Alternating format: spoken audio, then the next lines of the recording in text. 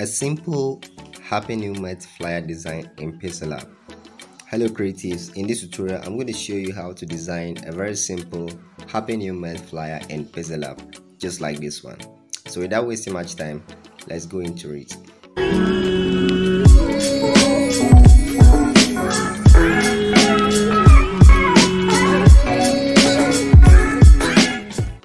Alright, so the first thing that we usually do is to delete the original text over here, which you probably delete right away. And right after doing that, the next thing to do is to change the color of your work background. So we're going to go with white for now and probably change it later whenever we need another adjustment. Alright, so the next thing to do is to go ahead and input your text, alright, depending on the month that you want to do the happy new month flyer for you write the month over there so i'm going to delete this new test and i'll write april. Let's assume the happy new month flyer is for april. So i'll just type in april then i'll go ahead and change the color to black. Right after that i'll go ahead and change the font as well so if you don't have access to my fonts you can get them in the description below. I'll leave the link over there. You can download all my fonts and use them. So i just selected montserrat black. So having selected montserrat black i'll increase the size of the text yeah something like this. I think this is okay. That's 154 size. Then I'll put it at the middle by using the relative position tool great so once this is done the next thing to do is to import another test. yes we are going to add another test. so right after clicking on the test, we just tap on edit. And we are going to edit this one too as well. So we are going to type right here happy new now having done this we are going to change the font as well. I got a little battery but we got to do this. So I'm going to change the font to Montserrat either semi bold yeah I think semi bold it's okay. So having changed to semi bold I'll reduce the size a bit okay so having reduced the size I'll make sure that I bring it down on top of the April now we've got to position it at the middle. Now having done that we go to spacing. Now from spacing we will tap on the first one line spacing then we stretch it a bit. Just making sure that it is in alignment. Now if you are struggling with alignment you can use the grid tool right here.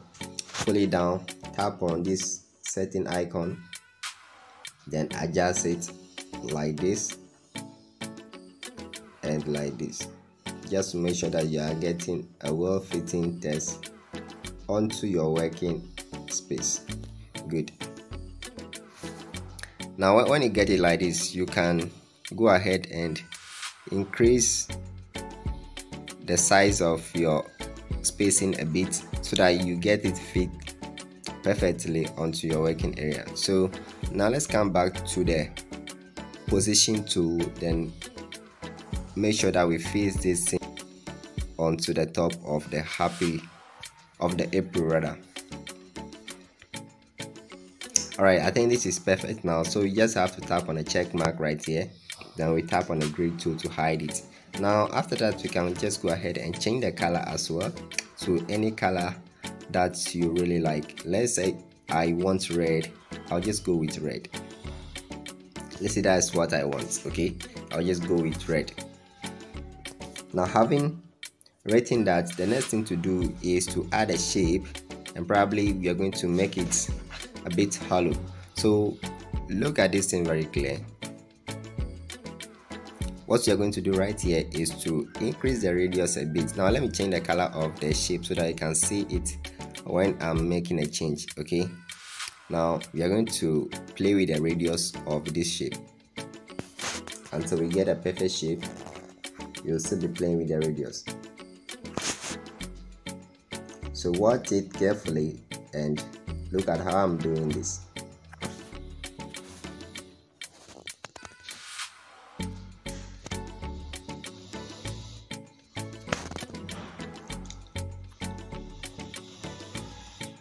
alright so when I'm okay with this I'll just leave it and go okay? When I'm okay with this I'll just leave it and go.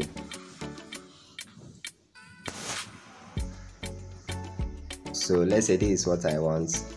I'll just come back and tap on a check mark then I'm good to go. Now the next thing to do is to make a copy of this but before we make a copy of it let's use the relative position tool to position it at the middle of the working space now let's go ahead and click on a copy now after clicking on the copy let's come back to edit now from edit we will have to reduce the opacity all the way down to zero percent now having reduced the opacity, we come back to stroke and increase the stroke a bit.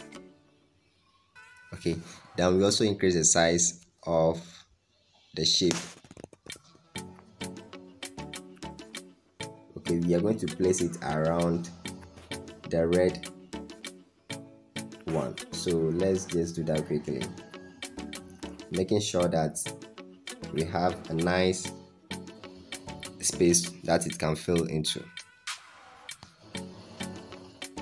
alright so if you are okay with this then just have to tap on a check mark and you are good to go so this is what you'll be having over here now if you have a short message that you want to put across you can equally do that okay so let me just go back to the test and tap on copy. So i'm going to copy the happy new month and just tap on edit. Then I'll go ahead and delete it then input probably any text that I want to put in over there. So I'll just put something like yes you can do it. Just start it. Just okay just go ahead. Alright so let's assume this is the message I want to put on it. Okay so I, I may try to change it to capitalized form or leave it like this. So let's leave it like this first and see how it will look. Note the color of the font is red so we are going to change it to white when you bring it onto the red background so before we go ahead with the changing of color let's first of all bring the spacing back to normal the spacing of the text you can see that it's too wide, wide so we have to bring it back to normal. So let's do that quickly.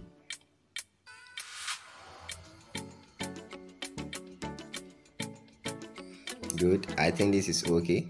Now we can go ahead and change the color to white so that when you put it on a red it will be showing clearly now so we just have to go to the position tool then bring it down. So we are bringing it down here.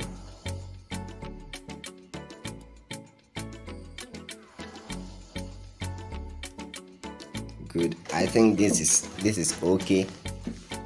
If if you want it to be like this this is okay. But if you also want it your own way you can go ahead and do that. But basically this is how you can do it. Now the next thing that we'll do is to add a bending effect to it all right? We just have to add a bending effect to this work. So first off we just have to go ahead and save this work. So we will save the work first. So always choose ultra whenever you are saving okay so once you are done saving the work just come back and tap on import all right tap on import. That means if you want to still use the same background just use tap on import and come and select the design that you just made all right so i have it right here and i'll just pick it send it back to a working area. Then we are good to go. Now here is the work that i just did. Okay.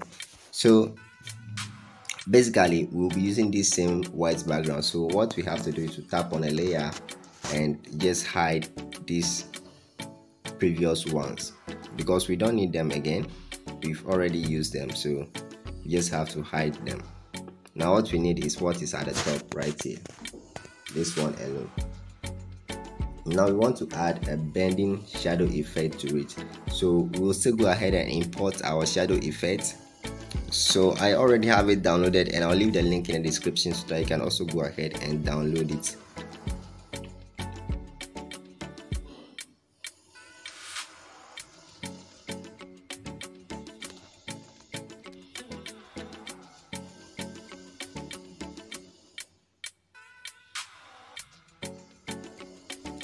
Alright so we have it here.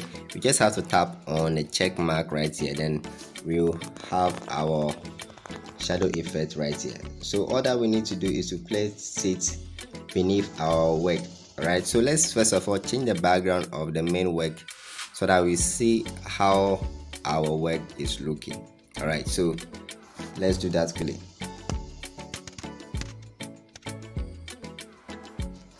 Great so you can just place it here and you have your bending shadow effect right here okay so that's basically how to go about this.